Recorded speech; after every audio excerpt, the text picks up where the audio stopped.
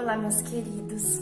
Hoje é dia 19 de julho e como é bom iniciar mais um dia caminhando junto com você aqui, nestes dias da novena de nove meses com Maria. É uma caminhada longa, mas vale a pena. Ela é valiosa e são apenas alguns minutos que a gente oferece para Nossa Senhora nesta oração. E quanto que a gente recebe dela? Quanto? A gente tem tanto a agradecer Iniciemos juntos o dia 19 de julho, em nome do Pai, do Filho e do Espírito Santo. Amém. Peçamos a presença do Espírito Santo. Vinde, Espírito Santo, enchei os corações dos vossos fiéis e acendei neles o fogo do vosso amor. Enviai o vosso Espírito, e tudo será criado, e renovareis a face da terra. Oremos. Ó Deus que instruístes os corações dos vossos fiéis com a luz do Espírito Santo, fazei que apreciemos retamente todas as coisas, segundo o mesmo Espírito, e gozemos sempre da sua consolação. Por Cristo Senhor nosso. Amém. Amigos e companheiros fogem de minha chaga, e meus parentes permanecem longe. Salmo 37, 12. Houve uma grande correria na cidade.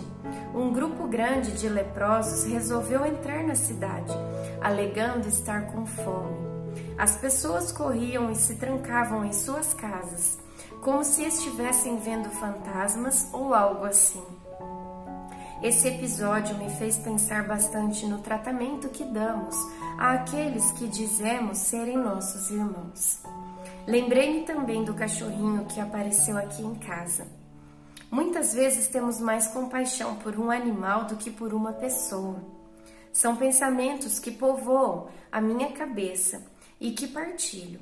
Até quando existirão pessoas que sofrem sem receber assistência? Reflexão. Reze por aqueles que estão em outro continente, mas não feche os olhos para quem está ao seu lado. Oração final para todos os dias. Deus Pai, que por obra do Espírito Santo fecundaste o seio virginal de Maria e a escolheste para ser a mãe de Jesus, nosso Salvador. Eu te louvo e te agradeço por teu amor incondicional por mim, por minha família e por toda a humanidade. Sei que minha vida é regida pela tua providência. Da mesma forma que chamaste Maria para uma missão tão importante, também me chamas para cumprir teus desígnios. Quero ser fiel a ti. A exemplo de Maria, que gerou o Verbo por nove meses, também quero gestar o teu filho em meu coração, até o poder dizer, como o apóstolo Paulo: Já não sou eu quem vivo, é Cristo que vive em mim. Nesta novena, em que eu acompanho diariamente os nove meses da Virgem Imaculada Grávida, eu te peço a graça. Faça o seu pedido.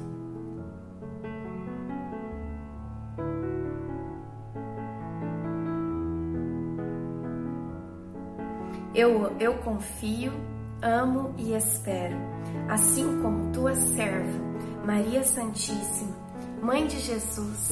Amém. Pai nosso que estás no céu, santificado seja o vosso nome. Venha a nós o vosso reino. Seja feita a vossa vontade, assim na terra como no céu.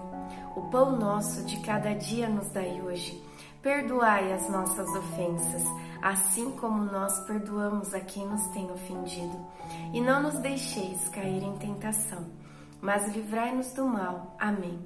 Ave Maria, cheia de graça, o Senhor é convosco. Bendita sois vós entre as mulheres. Bendito é o fruto do vosso ventre, Jesus.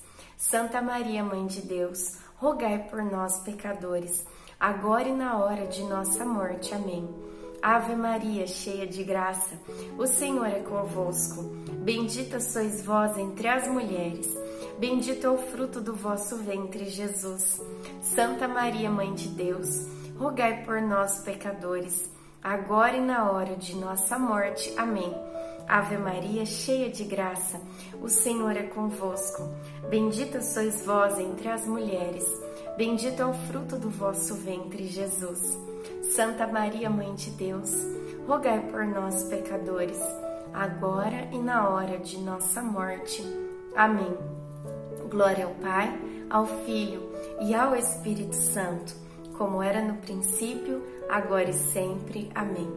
Nossa Senhora, rogai por nós. Em nome do Pai, do Filho e do Espírito Santo. Amém.